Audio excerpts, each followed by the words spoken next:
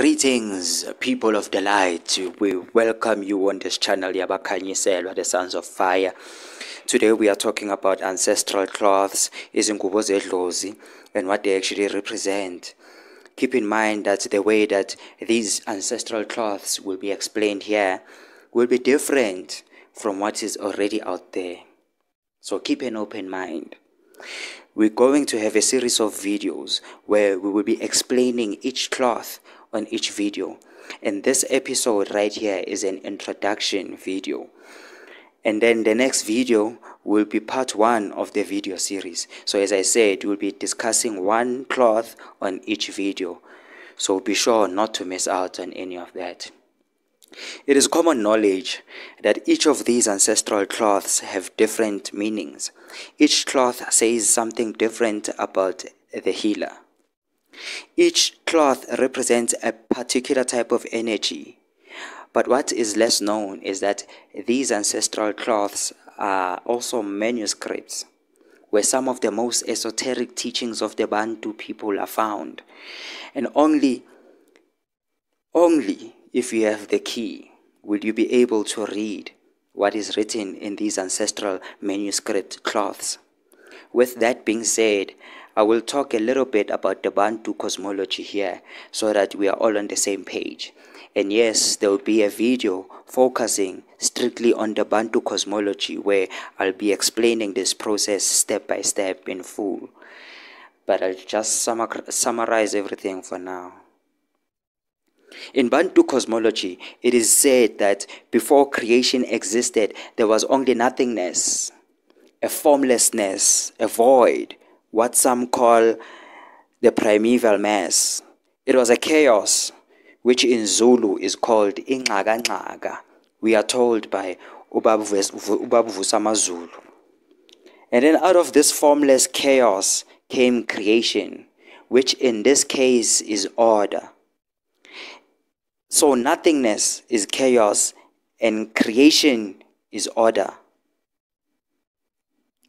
Now, Creation in ancient Bantu symbolism is represented as four leopards that are pulling or stretching a leopard skin on, on all four opposite directions. So if you can just imagine a, a full body skin of a leopard, and on each corner of the skin, imagine there's a leopard pulling that very same skin towards the opposite directions. That symbolism is the ancient symbolism of creation itself. It is the ancient symbolism of chaos and order. Four leopards stretching out a leopard skin, or four lions stretching out a lion's skin. It is said that creation is held intact and in position by these four beasts representing order. And the day that these beasts let go of the skin, everything in creation will go back to its source, the nothingness, the chaos.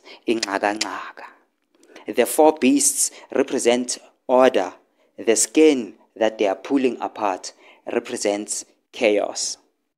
These four beasts are what keeps creation in order. In other words, they keep creation from going back to nothingness.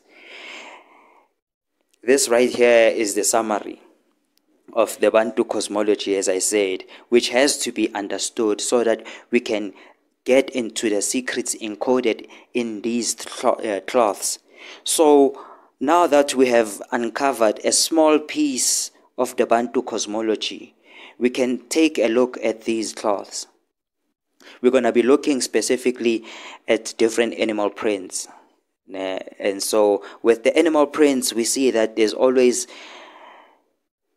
the same design, they are always encoded the same way.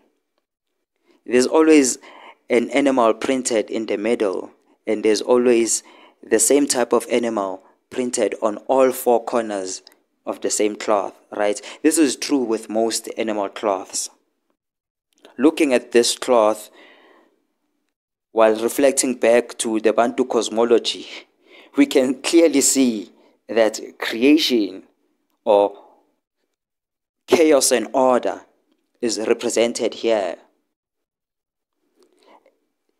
A hidden mystery of Bantu cosmology is depicted right here on these ancestral cloths.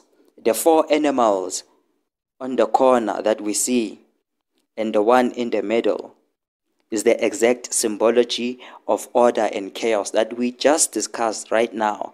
The beasts that hold creation intact are depicted on the corners, and the skin that they are stretching is represented by the animal printed in the middle. In fact, the whole cloth symbolizes an animal skin, so you can imagine. I'll say it again. These cloths are manuscripts as we can see, they are speaking of ingxakanxaka, chaos and order, which is creation or endelontolo. This is part of the cosmology of the Bantu people, represented clearly for all who have eyes to see. Another aspect of the mystery is a very important one that actually connects everything together. It connects this cosmology and the cloth itself, right? This aspect is relevant is relevant to all healers and all people who have a spiritual calling.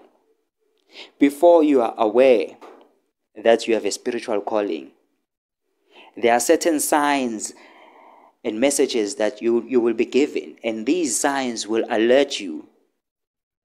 They will show you, they will prove to you that you have a calling.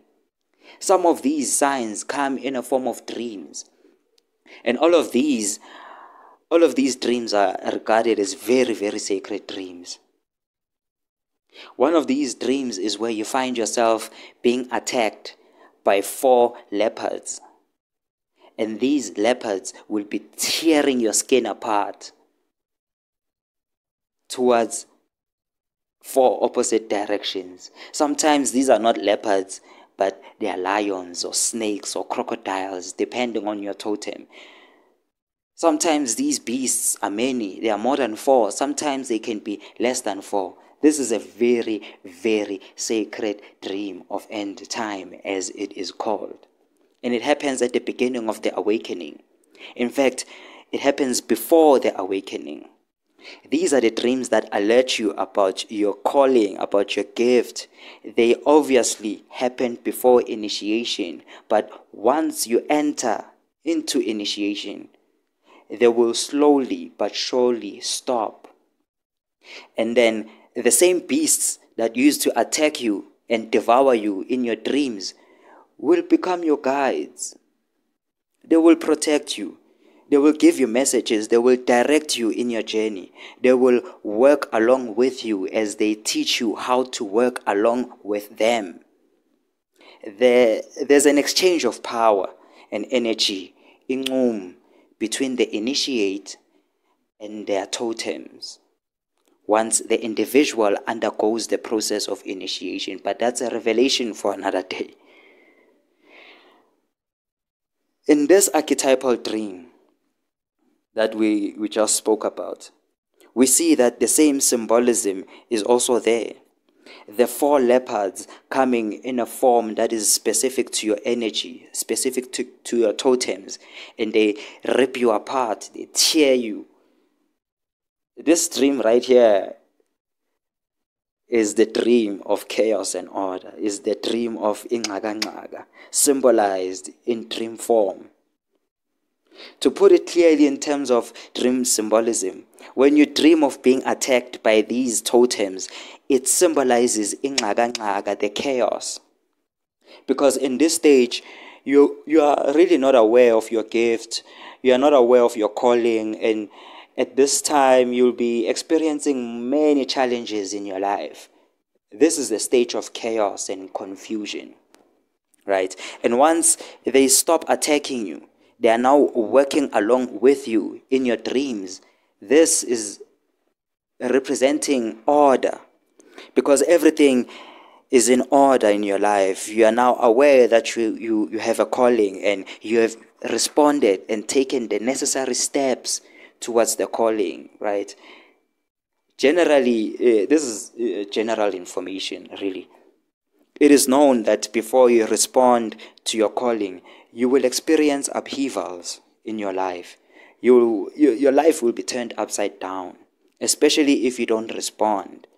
This right here is a state of confusion, inyaga representing inyaga chaos. Right?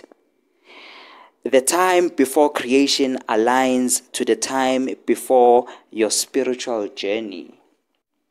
In the tarot, in terms of now Western spirituality, and still like it's not Western, there's a reason why. But in terms of the tarot, this state is represented by the zero card. Zero is nothingness. This card is known as the fool representing that at this stage, you knew nothing about your calling. You, you were not aware of your spiritual gifts, and you haven't really entered the path. You ask yourself many questions that you have no answers for. So, in a way, you are you, you were a fool in this stage. You know. And then it is also generally known that when you answer your calling and you enter initiation, the upheavals in your life, the confusion, the battle, they slowly but surely stop. Specifically, those that were caused by the state of ingaga, your lack of knowledge about your gift and your calling. Right? So, if you were sick before initiation, you should be healed when you enter initiation, for example. This state represents the order that came out of the chaos. Because now your life is in order. You are setting your life in order. You are, you are, you are, you know, receiving messages and you are doing accordingly. You are aligned and you are exactly where you are supposed to be. All this is in accordance with the ancient Bantu law of correspondence that as above, so below, as below, so above. We see that there's a connection between how creation came about and how healers awaken to their spiritual calling. And, you know, all of this is actually represented on a simple ancestral cloth with symbols, you know. The journey of creation is reflected by the journey of an individual healer.